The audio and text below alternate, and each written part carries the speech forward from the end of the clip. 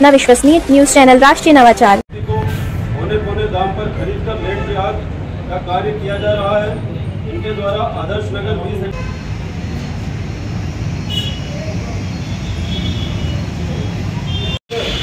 Police के वरिष्ठ अधिकारियों से साठ साठ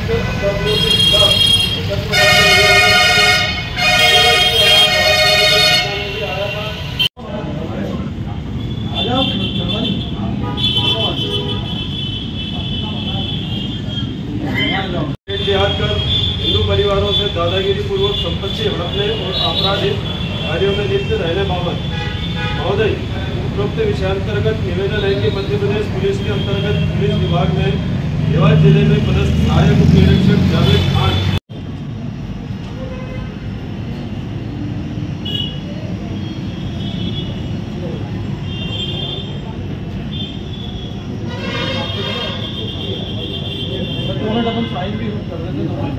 शक्तिपीठ के सामने आदर्श नगर बी सेक्टर देवास के द्वारा अपने पुलिस पद का दुरुपयोग करते हुए वर्दी की आड़ में हिंदू परिवारों की संपत्ति, बच्चों का शोषण किया जाता है। टीआरपी लाइन स्थित क्वार्टर नंबर बी आठ, जो इनके नाम पर अलॉटेड था जिसमें यौन उत्पीड़न से संबंधित विषय प्रकाश में आया था। उक्त विषय के कारण देवास शहर में विवादित स्थिति निर्मित हुई, जो कि इस यूट्यूब लिंक से समझी जा सकती है, जबकि दोनों भाइयों के पास स्वयं के मकान हैं। उसके बावजूद भी इन्होंने मिथ्या जानकारी में संलग्न रहते हैं। दोनों भाई विवादित जमीनों में हस्तक्षेप कर, उन जमीनों को होने पौने दाम पर खरीद कर, दोनों भाई सीधे साधे हिंदुओं की ज़मीन को लेकर लेट जिहाद में लिप्त रहते हैं। ये दोनों भाई बाहर जाकर अपराधियों से हफ़्ता वसूली का कार्य भी करते हैं। इन सब कामों में लिप्त रहकर इन दोनों भाइयों से संपत्ति एवं हिंदुओं से संपत्ति ली है तथा इनके पास आय से अधिक संपत्ति है। इन्होंने मुस्लिम प्रशासनिक अधिकारियों और कर्मचारियों तो मुस्लिम अपराधियों का एक संगठन बना रखा है, जिसके माध्यम से ये लेट जिहाद एवं लव जिहाद के कार्य करते हैं। दिनांक आठ पाँच दो हज़ार चौबीस को भी दोनों ही पुलिस कर्मचारियों द्वारा नगर पालिका निगम द्वारा बनाई जा रही सड़क के कार्य को भी रुकवा कर कार्य कर कार्य कर रहे हैं। कर्मचारियों को धमकाया गया उपरोक्त सभी कारण से इन लोगों द्वारा अपने पद का दुरुपयोग कर पुलिस की रहवासियों को झूठे मुकदमों में फंसाने की धमकी देकर डराते हैं, जिस कारण रहवासीगण इनके विरुद्ध शिकायत करने से डरते हैं। इनके द्वारा कब्जा की गई ज़मीन पर ट्रक, जेसीबी आदि वाहन खड़े किए गए हैं। इन वाहनों से लकड़ी का अवैध परिवहन किया जाता है। गुप्त दोनों भाई इन वाहनों के माध्यम से समस्त अवैध कार्य करते हैं, जिसमें लकड़ी, रेती व शराब आदि का अवैध व्यापार किया जाता है। इन दोनों भाइयों के द्वारा पुलिस लाइन में शासकीय क्वार्टर आवंटित कब्जा कराकर उक्त क्वार्टर में अवैध रूप से अपराधियों को रुकवाया जाता है तथा हिंदू बच्चों का शोषण किया जाता है। टीआरपी लाइन स्थित क्वार्टर नंबर बी आठ, जो इनके नाम पर अलॉटेड था, जिसमें यौन उत्पीड़न से संबंधित विषय प्रकाश में आया था। उक्त विषय के कारण देवास शहर में विवादित स्थिति निर्मित हुई, जो कि इस यूट्यूब लिंक से समझी जा सकती है। जबकि दोनों भाइयों के पास स्वयं के मकान हैं, उसके बावजूद भी इन्होंने मिथ्या जानकारी देकर मुक्त क्वार्टर आवंटित करवाए हैं। दोनों भाई पुलिस की आड़ में सतीश श्रीमान केंद्रीय गृह मंत्री, गृह मंत्रालय, भारत सरकार द्वारा पुलिस अधीक्षक चौधरी देवा विषय मध्य प्रदेश पुलिस के कर्मचारी अधिकारी श्री फिरोज खान, प्रधान आरक्षक एवं प्रावेश खान एएसआई के द्वारा अपने पद का दुरुपयोग कर लेट जिहाद कर हिंदू परिवारों से दादागिरी पूर्वक संपत्ति हड़पने और आपराधिक कार्यों में लिप्त रहने बाबत महोदय उपरोक्त विषयांतर्गत निवेदन है कि मध्य प्रदेश पुलिस के अंतर्गत पुलिस विभाग में देवास ज़िले में पदस्थ सहायक उप निरीक्षक जावेद खान तथा प्रधान आरक्षक के पद पर पदस्थ फिरोज खान निवासीगण गायत्री शक्तिपीठ के सामने आदर्श नगर बी सेक्टर देवास के द्वारा अपने पुलिस पद का दुरुपयोग करते हुए वर्दी की आड़ में हिंदू परिवारों की संपत्ति पर अवैध रूप से उन्हें डरा, धमकाकर हिंदू परिवारों की संपत्ति को होने पौने दाम पर खरीद कर लेट जिहाद का कार्य किया जा रहा है। इनके द्वारा आदर्श नगर बी सेक्टर में बने शासकीय रोड को दादागिरी पूर्वक उखाड़कर, प्लाट बनाकर कब्जा कर लिया गया है।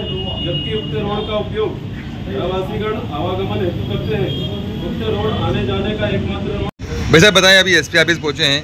किस समस्या को लेकर पहुँचे हैं? आपने यहाँ पे एक आवेदन भी दिया क्या कुछ पूरा मामला था। एक्चुअली भाई साहब, एक विषय हिंदू जागरण मंच मालवा प्रांत से संज्ञान में लाया गया था कि देवास में जावेद एवं फिरोज खान नाम के दो भाई हैं जो पुलिस विभाग में कार्यरत हैं। ये दोनों भाइयों के खिलाफ जो है समाज में जो है विभिन्न अवैध गतिविधियाँ जो है संचालित करने का कामकाज चल रहा है। इनके द्वारा, पूर्व में भी इनके द्वारा जो है डीआरपी लाइन स्थित एक क्वार्टर में जो है अवैध देह व्यापार से संबंधित एक मामला प्रकाश में आया था, जिसको उज्जैन से स्वामी जी ने उठाया था।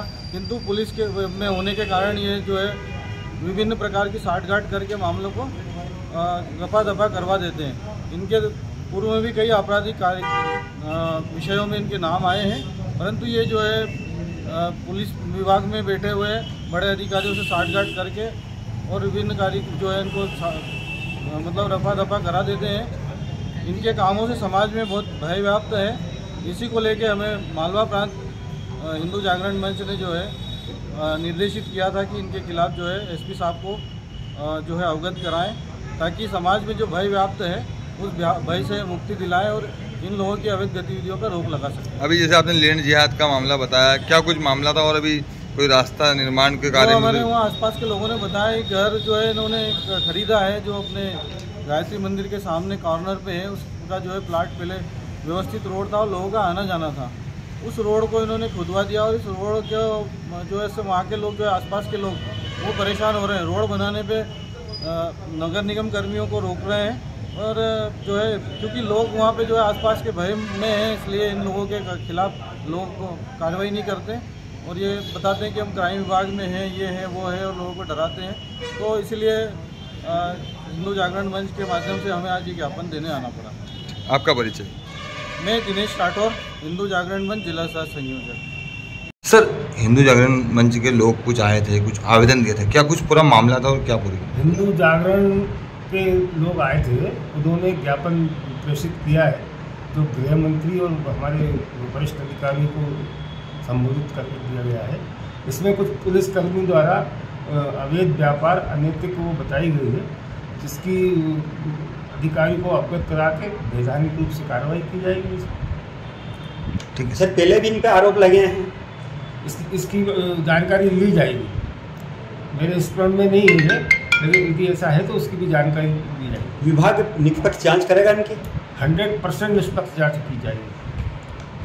आपका परिचय सर? परिचय सर? आपका नाम? मैं संजय शर्मा डीएसपी मुख्यालय।